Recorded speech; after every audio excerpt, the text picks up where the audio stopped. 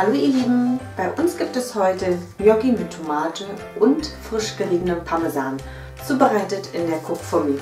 Das Rezept habe ich aus diesem Buch und minimal abgewandelt. Das ist also das Original und ich zeige euch heute meine Version. Die Gnocchi sind innerhalb von vier Minuten auch schon fertig. Jetzt wird schon abgedampft und ich lasse euch in den Topf schauen.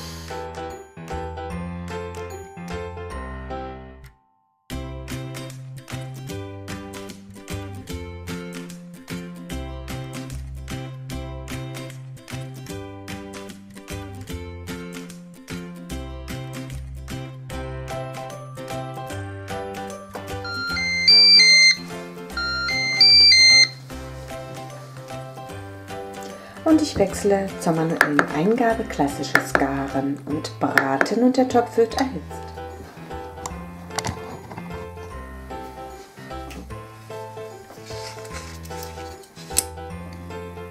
Etwas Öl wird angegossen. Eine Zwiebel und zwei Knoblauchzehen werden zugegeben und angebraten.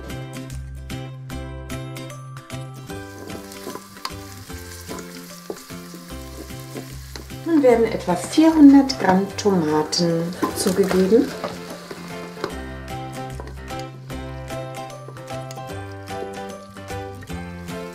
Etwa zwei Minuten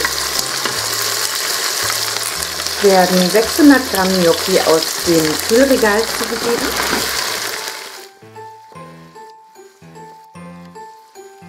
Nach Belieben wird gewürzt mit Pfeffer, Salz und Chiliflocken.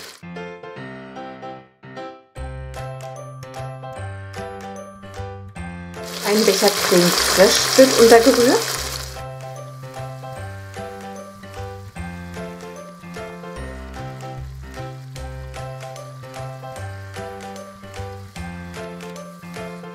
Und nach Belieben frisches Basilikum.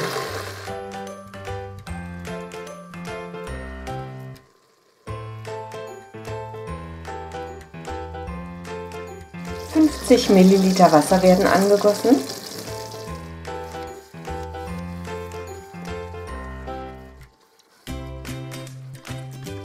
Und der Topf wird geschlossen. Und ich wechsle zum Programm Garen unter Druck für schnelle 4 Minuten. Und es wird langsam, ganz sanft abgedampft. Ich beende das Programm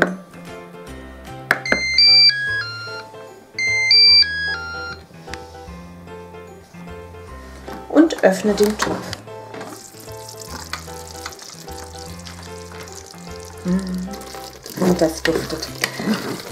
Super cremige Gnocchi mit Tomate und Basilikum hätte etwas mehr sein können, also ich werde das Ganze anschließend mit Parmesan bestreuen und mit Basilikum garnieren. Priatno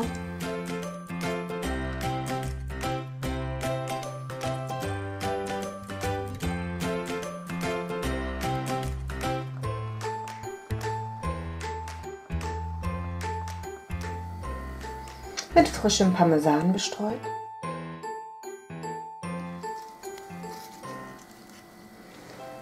Priatno.